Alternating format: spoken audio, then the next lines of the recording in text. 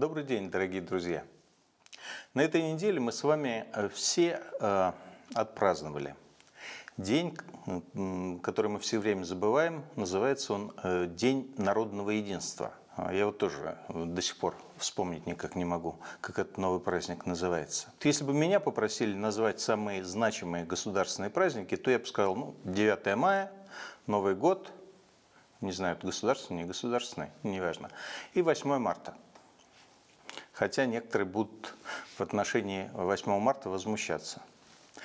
А спросите кого-то еще, и люди вам назовут День защитника Отечества, может быть, День независимости, Пасху или День космонавтики. Для кого-то праздником точно будет Курбан-Байрам, для кого-то, возможно, 1 мая или 7 ноября. А вот про День народного единства, если кто и вспомнит, то только потому, что это выходной. Праздник, придуманный, чтобы отобрать у коммунистов 7 ноября. Ну и, что называется, не зашел. Не зашел он не только потому, что дата выбрана с потолка и никаких эмоций ни у кого не вызывает. Не зашел еще и потому, что никакого единства люди, к сожалению, не чувствуют. Единство возникает там, где все ощущают себя равноправными гражданами своей страны. Где случись что, и человек не останется с бедой на один на один. Где люди считают справедливым устройство общества – Ничего этого нынешняя власть дать не может, да и не хочет. Россия расколота на две страны.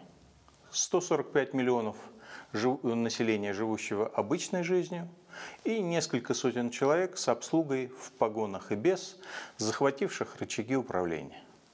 И вот эти две половины вовсе не едины. Начнем с доходов. Вот я лично, конечно, против уравниловки – я считаю правильным, что много работающий человек должен иметь возможность много зарабатывать. У кого таланта больше, чем у прочих, тоже должен иметь возможность зарабатывать. Кто рискует многим, должен иметь шанс выиграть по-крупному. Но не на государственной службе и не за счет бюджета. Как э, говорит мастер меткого слова Дмитрий Анатольевич Медведев, хотите зарабатывать, идите в бизнес. А если хочется деньги зарабатывать, есть масса прекрасных мест, где это можно сделать быстрее и лучше. А, тот же самый бизнес. Правда, Медведев сказал это про учителей и преподавателей вузов, а не про своих коллег-миллиардеров из правительства и госкомпаний. Ну вот вдумайтесь только.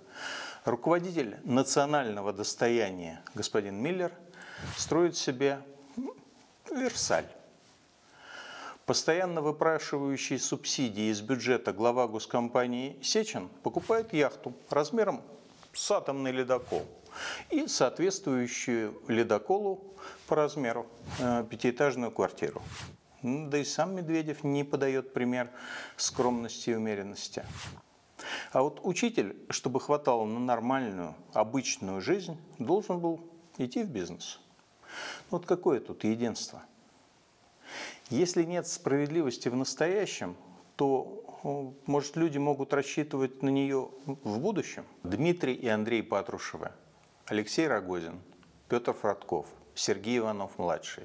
Этих молодых людей объединяют две вещи – они дети высокопоставленных чиновников и одновременно очень способные работники. Ну, настолько способные, что в весьма молодые годы сумели занять важные государственные, окологосударственные посты и получить государственные награды. Вы же не думаете, что их родители передали им свою власть по наследству? Или все-таки думаете? Ну ладно, признаюсь, я тоже так думаю. Это значит, что в этом вопросе тоже единства нет. Как можно ощущать единство, если детям одних страна принадлежит по праву рождения, а детям других нужно бороться и то за крохотную зарплату. Знаете, в советские годы был такой анекдот, когда сын полковника спрашивает отца, папа, я стану полковником? Конечно, станешь, сынок, а генералом? Нет, генералом не станешь. А почему? Потому что у генерала тоже есть свой сын. Сейчас этот анекдот настолько отражает реальность, что уже перестал быть смешным. Если у советской власти и были достижения, то это было разрушение наследственного характера социального положения человека. Дети генсеков не становились генсеками. Дети членов Политбюро не становились членами Политбюро. Сейчас же мы движемся в совершенно обратном направлении. Дети тех, кто сейчас использует власть для обогащения, готовятся занять место своих родителей. Нет в стране единства и в плане социального обеспечения. Вот сравните свой набор социальных благ с тем, что получают чиновники. Вот вас ждет ранняя повышенная пенсия. А 300-метровую квартиру в центре Москвы вам дали в собственность ну, за вашу замечательную работу. Может быть, вас на работу доставляет немецкий лимузин с водителем и мигалкой?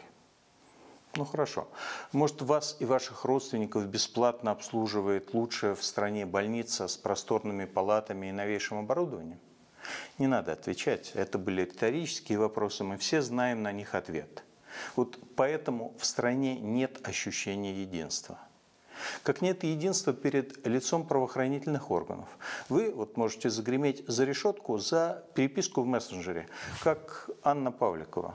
И наоборот – кто-то может украсть полбюджета и будет находиться под арестом в своей 13-комнатной квартире с перерывами на шопинг в дорогих магазинах. Но это если вы близки к министру обороны, как Евгения Васильева. Вы же помните, что осужденная за многомиллионные хищения в Министерстве обороны Васильева провела в колонии аж 34 дня. Но главное, почему нет единства, это отсутствие общей мечты. Куда мы? как страна идем вместе? В чем и где наша общая цель? На этот вопрос у власти нет ответа. Вернее, есть, но он неутешительный. Общество и власть идут к разным целям. Цель захватившей страну группировки и дальше оставаться у власти продолжать обогащаться, отгораживаться от общества заборами охраны, сохранять привилегии, а потом передать это все по наследству, закрепить существующий порядок навечно. В этом их будущее. Ну, к слову, такого будущего не бывает. У остальной страны в таком раскладе будущее незавидное. Ей предстоит оплачивать этот вечный банкет – на плечи общества ложатся все издержки, и поэтому людей ждет повышение цен, повышение налогов, повышение пенсионного возраста, снижение уровня жизни и социальной защищенности. И люди, которые за счет целой страны строят светлое будущее себе и своим детям, предлагают своим жертвам праздновать День народного единства, ну, конечно, этот праздник и не заходит. Главное противоречие нашей страны не между богатыми и бедными, хотя расслоение очень велико, и не между центром и регионами, хотя и излишняя централизация мешает нам всем. И даже не между отдельными частями страны, хотя и здесь есть давно известные диспропорции. Главная проблема в том, что у общества и у этой власти интересы диаметрально противоположны, и примирить их нельзя – Хоть 10 дней единства поставь в календарь. А раз примирить их нельзя, то общество должно навязать свои интересы власти. И только от нас с вами зависит, сумеем ли мы когда-нибудь это сделать. Спасибо. Смотрите мой канал и подписывайтесь на него. Всего вам хорошего.